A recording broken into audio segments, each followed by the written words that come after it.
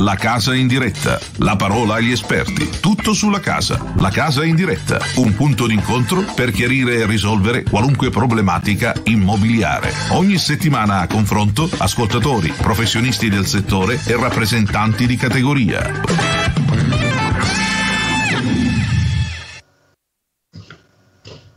Benvenuti amici, benvenuti alla casa in diretta, il format di Rete 8 che vuole approfondire tutti gli aspetti inerenti, le costruzioni non solo della casa, ma tutto quello che ruota intorno alla casa. Eh, abbiamo come sempre con noi in collegamento Massimo Bortolotti. Buongiorno, ciao Massimo. Ciao Moreno, buongiorno a tutti. Dunque, dicevo questa trasmissione che vuole così approfondire tutti i vari aspetti legati alle case vecchie, nuove, contratti, non contratti, agenti, eccetera, eccetera. Oggi intanto iniziamo, avevamo iniziato, parlato l'altra volta di come fare una valutazione, insomma, pian piano andiamo avanti. Oggi intanto iniziamo parlando di incarico. Sì. Allora, l'incarico è una formalità decisamente importante e necessaria affinché l'agente immobiliare col quale tu hai, hai, a che fare e che ti ha preventivamente fatto una valutazione, motivato la valutazione che tu condividi, eh, di prendere in carico la vendita o la locazione di casa tua. Eh, concentriamoci sulla vendita che ha diciamo, la, la maggiore richiesta di, di spiegazione. Un incarico è formalmente un, un contratto fra io, agente immobiliare, e te, padrone di casa, ed è un contratto, è una sinergia per arrivare alla conclusione della vendita. E quindi io farò di tutto per trovare un acquirente alle condizioni migliori che possibile di mercato per casa tua e tu dovrai consentirmi ovviamente di fare il mio mestiere. Quindi mi dovrai mettere a disposizione tutta la documentazione necessaria, laddove questa documentazione eh, mancasse eh, ti dovrai operare per farlo o delegare un tecnico mio tramite o chi, o chi vuoi tu insomma, per, per, reperirla affinché io possa proporre il tuo immobile eh, in maniera mh, completamente soddisfacente e trasparente al potenziale acquirente. Eh, un incarico è un, un incarico formale, a mio parere, eh, necessario e non eh, superabile, cioè non verbale, va sempre a mio parere scritto, che sia, eh, lo divido ovviamente in esclusiva o non in esclusiva, perché io devo avere l'autorizzazione tua, devo sapere di che cosa stiamo parlando e tu ovviamente eh, hai tutto l'interesse perché io faccia il miglior mestiere del mondo per cui non puoi dirmelo a voce, nel nostro mercato va molto di moda, se le capita qualcuno lei me lo dica, ma qui non è che capita, non c'è che c'è la gente fuori con i biglietti che dice cerco un attico, ce n'hai uno, no ce ne ho due, qui la gente te la devi cercare, devi avere dei contatti giusti, devi avere dei canali eh, cui, eh, con cui e con i quali puoi cercare gli, gli acquirenti, eh, far vedere la casa, incontrarli in ufficio, proporgli eh, le, le, le, condizioni e cercare di arrivare a quella che è una prima proposta di acquisto che è l'atto diciamo, che poi ci porterà alla eventuale compravendita della casa. Un, un incarico formalmente è composto da tre grandi eh, sezioni.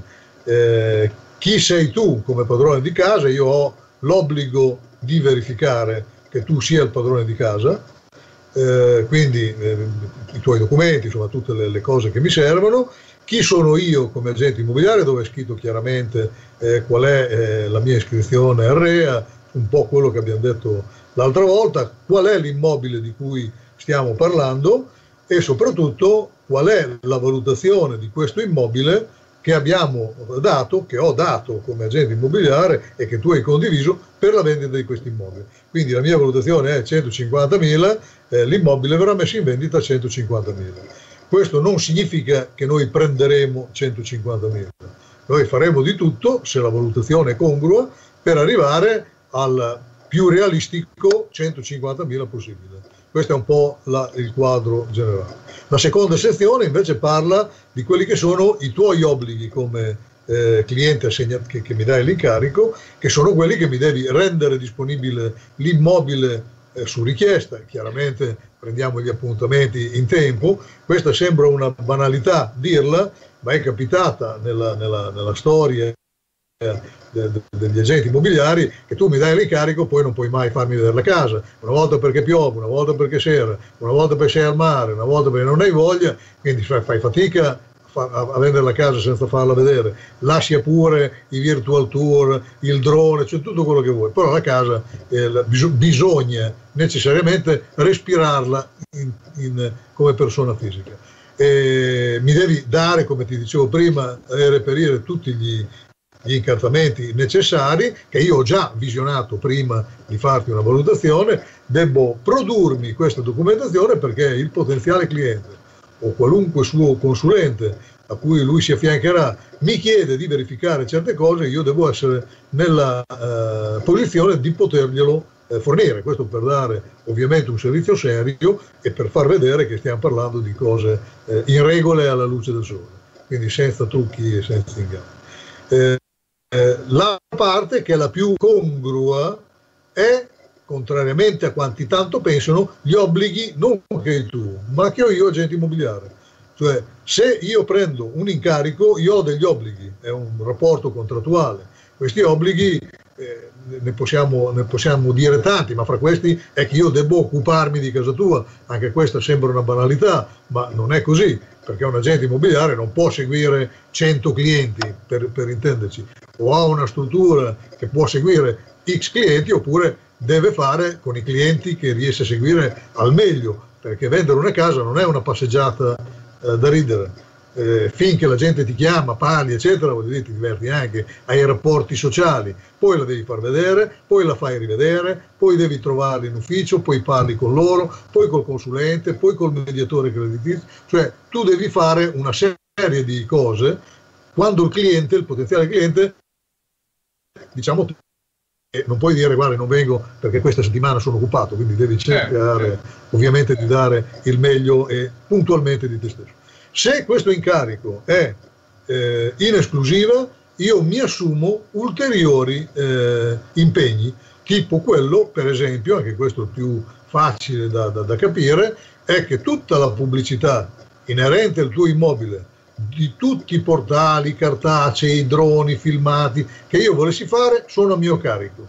Questo lo dico perché eh, da codice civile, una norma del codice civile, se io non dichiaro questa cosa e per mille motivi non ti vendessi casa, potrei chiederti comunque di partecipare alle spese di, eh, che, ho, che, che, ho, sostenuto per promuovere casa tua.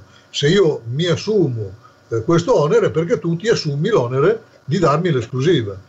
Io vorrei eh, aprire una parentesi sull'esclusiva e la non esclusiva. Quindi siamo arrivati al punto di dire che un incarico va fatto comunque deve essere scritto, perché cautela te e cautela me, fra persone serie. Poi voglio dire, poi ci sono sentiti dire, andiamo al bar a discutere, ma è tutto un altro film. Perché in esclusiva è meglio? Perché io non solo mi assumo molte più responsabilità, ma perché io l'immobile eh, lo devo gestire al meglio, sono io che guido l'autobus.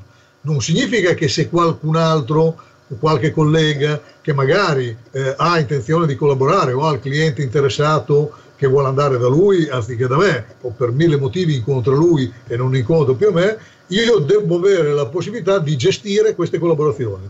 Quindi devo avere la certezza dal punto di vista professionale, quindi per la mia faccia e il mio eh, modo di stare al mondo, devo avere tutta l'operatività per dare al mio collega quello che io ho chiesto a te come eh, interlocutore mio diretto. Quindi devo fornire parte della documentazione quando, quando, è richiesta, dare risposte al suo cliente, a cui io ovviamente darò tutto l'affiancamento possibile, fino ad arrivare magari alla conclusione dell'affare. Per te cliente è solo una moltiplicazione di opportunità. Certo. Per me è una divisione del merito, che significa eh, da come lo, lo, traduco io e l'ho sempre tradotto in questo modo e sostenuto in questo modo, secondo me se io vendo tramite una collaborazione e io faccio moltissime collaborazioni eh, che mi chiedono e che io offro, anche senza che la gente me la chieda, ho molte più opportunità di vendere, accorcio i tempi, accontento te cliente e non è vero che guadagno la metà, guadagno di più perché guadagno più volte la metà. E quindi eh, lavoro con altri colleghi, eh, se ho bisogno ci si dà una mano ed è secondo me il modo più normale e intelligente con cui si deve operare. Senti Massimo, due domande. Eh, una volta fatto l'incarico no, in esclusiva, se eh, trovo io un cliente e voglio fare il furbo e vendermela per conto mio, uno, cosa succede? Secondo, se arriva un'altra agenzia e mi dice, ah ma io ti do 100.000 euro in più di quello che ti ha offerto, eh, come se ne viene fuori, quali sono le penalità, se ci sono, come funziona? Un contratto è un contratto, eh, quindi se uno ha eh, l'idea di fare un contratto e poi fare furbo, secondo me è molto più facile non dare il contratto e dici, eh, come in tanti sostengono, guarda, questa è casa mia, poi se ti capita vendi. Io per esempio non ci metto neanche un, 10 minuti di tempo a questo tipo di... a meno che non conosci hai rapporti particolari con quel cliente, parlo in linea generale. Parto dalla tua ultima frase, arriva l'agenzia che ti dà o che ti offre 100.000 euro io te l'avevo già accennato in un'altra eh, trasmissione. L'agenzia non ti dà un liro, non ti dà una lira, perché l'agenzia non ti compra a casa tua, l'agenzia ti può dire che contrariamente a quello che ti ha detto quel poveretto di Bordolotti, secondo me casa tua vale 30-40 mila euro in più, che è un altro paio di maniche. Ed è magari vero, cioè voglio dire, forse ha ragione lui, ti dimostrerà, perché te lo dovrà poi dimostrare, perché vale 30 mila euro in più perché vuoi l'incarico tu o perché ci sono delle oggettive motivazioni, per cui magari ci si, tiene, ci si siede tutte e tre e ci si cerca di capire dov'è l'inghippo e dov'è l'errore. Generalmente chi ti offre di più in maniera così veloce e spontanea è perché probabilmente vuole l'incarico. Però se quella persona, chiamiamolo collega fra virgolette, perché tanto collega non è, da come la, la interpreto io, ti fa una roba del genere, eh, io credo che non sia una persona collaborativa. Io se vedo che ho un mio cliente che mi fa cercare o mi, mi, incarica di cercare un immobile, perché noi possiamo essere incaricati anche al contrario, cioè non di trovare chi compra, ma di trovare chi vende. Quindi mi cerchi un immobile fatto così in quelle zone perché io non ne ho voglia, non ho tempo, non sono capace, non mi interessa. Bene, io se individuo un immobile non chiamo il proprietario di quell'immobile, chiamo l'agente immobiliare che tratta con il proprietario di quell'immobile e con lui instauro, tento di instaurare, mi auguro di instaurare una collaborazione, perché se questa collaborazione è una collaborazione seria, ci guadagno io, ci guadagna il mio cliente, ci guadagni tu e ci guadagna l'agenzia. Se questo rapporto invece lo si definisse all'italiana da furbetti, eh, non ha un gran senso.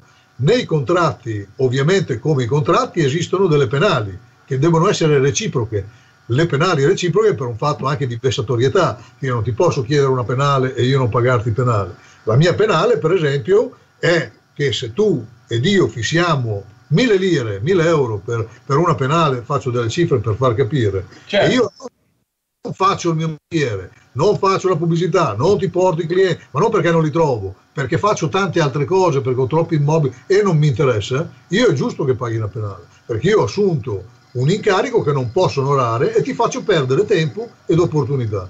D'altra parte, se tu, io ti trovo un, un, un, acquirente alle condizioni che abbiamo stabilito e tu decidi di non vendere perché a casa tua non hai mica il fucile, tu comunque una penale bisogna che la paghi, perché io, io il mio mestiere l'ho portato eh. a termine.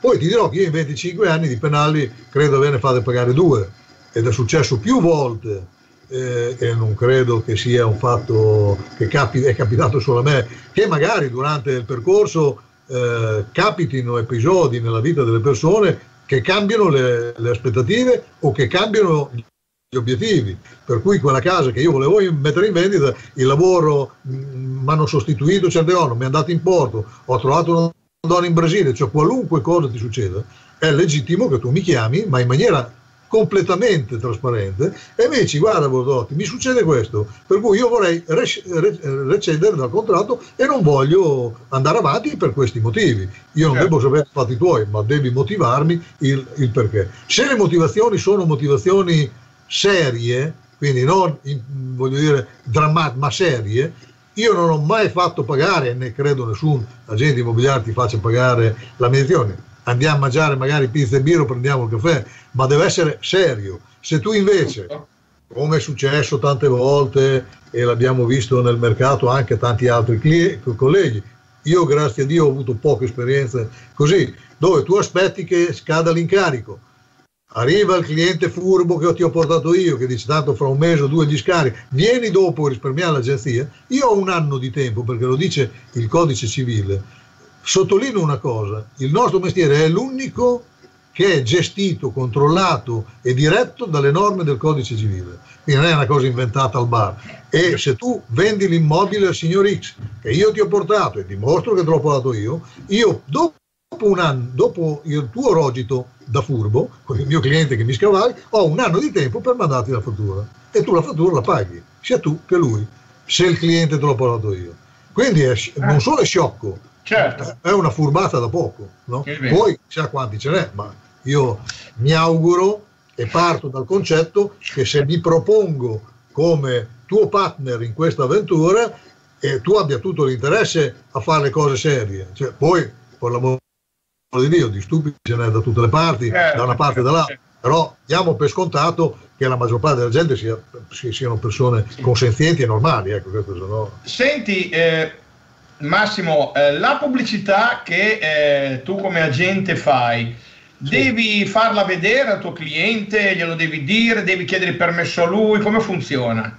Beh, allora, intanto quando tu fai una pubblicità, siccome oggi eh, la pubblicità è una serie di fotografie ben fatte, magari da qualcuno che le foto le sa fare, eh, magari la presenza di uno staging che ti diciamo prepara la, la, la tua abitazione eh, per farla vedere al meglio, non per truccarla, per farla vedere al meglio, perché se io vengo a casa tua e c'hai tutti i santini dei morti sul letto, non è un gran bel vedere, no? cioè tutte queste piccole cose, magari un'imbiancatura, che sì, sì, sì. sempre tutti, quando cambi la panda di 42 anni, prima di farla vedere che vale 350 lire, la fai lavare perché magari di una lira in più. Ecco, vendi una casa che costa centinaia di migliaia di euro, falla, falla, falla almeno imbiancare, no? questa è un po' l'idea, ma lì dipende ovviamente dal, dal, modo in cui il tuo cliente vuole stare al mondo e quindi è, è un'idea ma non è certamente obbligatorio.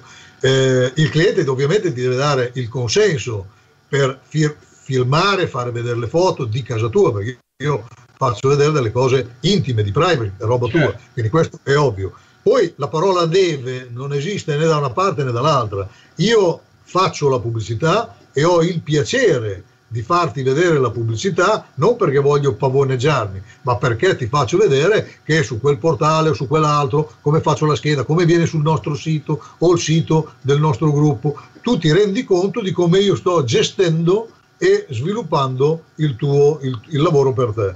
E credo che sia conveniente per tutti e due. Poi è chiaro che è capitato che il cliente ti dice, e qui non è una battuta, io l'ho avuto una volta nella vita, in maniera simpaticissima, perché siamo ancora in ottimi rapporti con questo non cliente, dove mi incarica per fare certe cose, mi dice il prezzo è questo, le foto le faccio io, la descrizione dell'immobile lo faccio io e venite da me lunedì pomeriggio. Gli ho detto falla te, cioè fai prima falla te. Perché lo devo fare io se sai fare tutto tu? Falla tu. Esatto, esatto. Quindi è inutile fare eh, cose di questo. Un contratto però è un contratto, cioè certo. non è una chiacchierata, è una buttata lì, è un impegno formale che le parti reciprocamente si prendono. Bene, senti, eh, ce la facciamo perché volevo parlare anche della relazione tecnica integrata. In sì. 5 minuti scarsi ce la facciamo? Sì, sì, sì, diciamo di sì, nel senso che diamo un'idea. Sì poi eh, nell'incarico, per esempio, uno degli obblighi che hai tu è di produrre, se non ce l'hai, l'attestato di prestazione energetica, senza il quale io non posso fare pubblicità perché va indicato nella pubblicità, e la relazione tecnica integrata, che sono due anni, tre anni che è obbligatorio in Emilia-Romagna, i notai non rogitano se tu non hai questa relazione tecnica. Questa relazione tecnica che cos'è? Non è altro che una garanzia per entrambe le parti, non solo per chi compra, ma anche per chi vende, che a rogito dichiara una serie di cose che non ha idea di che cosa siano e quindi estremamente pericolose se dichiara in totale buona fede ma dichiara il falso. Un tecnico al quale tu paghi un servizio, questo tecnico viene a vedere casa tua, verifica che la planimetria e lo stato di fatto siano coerenti, quindi siano eh, es- esattamente corrispondenti. Verifica lo stato dell'impianto elettrico, l'abitabilità, fa tutte le sue ricerche. E verifica anche quello che è il grande maccherone di oggi, cioè che è la triplice conformità, cioè che quello che vede, che quello che è in catasto è anche uguale a quello che è depositato in comune.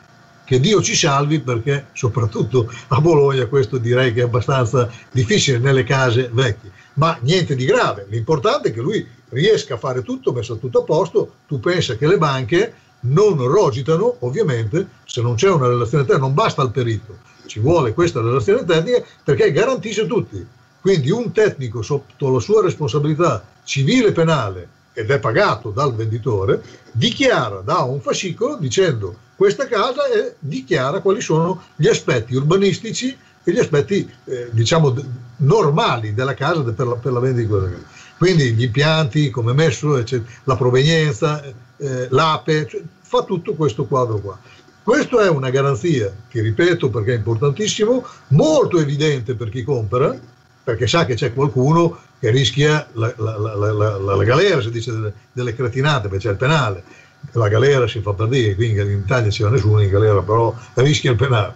E dall'altra, come venditore, è molto più importante della spesa che ha fatto. Cioè un investimento indispensabile per dormire la notte perché durante il rogito il notaio ti fa dichiarare che tu dichiari che la casa è in regola secondo le leggi urbanistiche, tu non hai idea di che cosa dici. Avendo qualcuno che te l'ha verificato e dichiarato per te, tu puoi dormire sonni tranquilli. Se ci fossero dei problemi, tu ti rifai su di lui. Non è che, voglio dire, tu scappi, ma quello parliamo sempre di buona fede e di problemi venali. Eh no? che la casa sia abusiva, la relazione tecnica è finta, eccetera. Quindi parliamo di... La relazione tecnica è questa roba qua, è una, una bestia molto particolare che allunga in un primo periodo il, il tempo eh, per la messa in vendita dell'immobile, perché sarebbe saggio, prima di vendere l'immobile, avere questa documentazione siccome questa è però molto utopistica, molto ottimistica, eh, l'importante è che tu ce l'abbia almeno prima di fare un preliminare. Intendo che la tua proposta di acquisto venga sottoscritta e firmata dalle parti, perché se ce l'hai dopo e la gente si è già messa d'accordo, perché ricordo che una proposta di acquisto sottoscritta e firmata è un preliminare, non è un, un gioco anche quello del Monopoli, è un preliminare, un compromesso. Se tu hai il tecnico che dopo verifica e trova un problema, la gente va a litigare. 8 certo. volte su 10 si discute. Se invece tu lo sai prima, magari allunghi i tempi per metterlo a posto oppure non fai la proposta. Perché questo poi è il modo di lavorare per non avere problemi. Comunque è fondamentale questa cosa. Noi siamo giù... È obbligatorio. Obbligatoria obbligatorio, aspetta, aspetta, preciso. Obbligatorio no, perché eh, la legge non lo prevede però in Emilia Romagna, se vai per esempio in Veneto, a occhio bello, il notaio non ti chiede la relazione tecnica. In, a, a Bologna, se non hai la, in Emilia Romagna la relazione tecnica, il notaio non rogita. Quindi non è un obbligo di legge, ma se vuoi rogitare in Emilia Romagna lo fai. Il, il succo e poi interpretala come vuoi ed è eh, un atto richiesto e voluto dalle associazioni di categoria proprio per dare trasparenza e garanzia alle parti ma l'abbiamo in Emilia Romagna, eh, credo che ci sia in Toscana, cioè c'è in Toscana, ma per esempio non c'è in Lombardia, eh, non credo ci sia in Lazio, quindi siamo molto federali in quello. No? E, e ti ripeto, da Bologna tu vai a Occhiobello, fai 20 km e non te lo chiede, questo è il concetto. Cioè, a Occhiobello posso vendere la vista è piaciuta. No, no, non no. è quello che dico, voglio ah, dire, okay, no, okay. fanno ovviamente tutti i controlli del mondo, certo, non sì, sì, sì, però... quello che dico. Però la relazione tecnica in quanto documento formale, a Bologna se non ce l'hai non rogiti, Emilia Romagna. Fuori dall'Emilia Romagna, nel Veneto per esempio, non te la chiedono, questo è il ah, concetto. Ah, okay. Poi se la fai, meglio, ma non è una, un, una richiesta insita, è un buon suggerimento. Qui lo devi avere. Va bene. Quindi nel momento in cui tu mi incarichi di vendere casa tua, devi darmi immediatamente o nel giro di poco l'attestato di prestazione per consentirmi di pubblicizzare casa tua con l'attestato di prestazione esatto. Poi è chiaro che siccome l'altra ha bisogno di tempo, incaricherai quanto prima, se non immediatamente, un tecnico per andare a fare l'accesso agli atti, verificare, eccetera. Nel frattempo io mi muovo Poi può succedere che io magari sono fortunato, bravo, capita il cliente giusto che lo cerca e riuscissi a trovare, riesco a trovare un cliente potenziale per la tua gara prima della relazione tecnica, diciamo che il buon senso e la strategia per vivere bene, eh, per, per stare bene al mondo, suggerirebbe di attendere che il tecnico ti dica qua è tutto a posto, qui c'è un problema, lo mettiamo a posto in 20 giorni, oppure non si mette a posto, perché tu lo impari dopo, non impari prima. Chiarissimo, prima di chiudere salutiamo il nostro sponsor, la Next Design dell'amico Antonio Vocino che si trova a Funo, se avete bisogno di fare qualche opera, qualche ristrutturazione contattate o me o... Eh, Massimo o addirittura potete andare sul sito della Next Design Group tranquillamente. Eh, vi saluto, grazie Massimo e ci vediamo alla prossima puntata. Grazie a voi a tutti, alla prossima. La casa in diretta, la parola agli esperti, tutto sulla casa, la casa in diretta, un punto d'incontro per chiarire e risolvere qualunque problematica immobiliare. Ogni settimana a confronto ascoltatori, professionisti del settore e rappresentanti di categoria.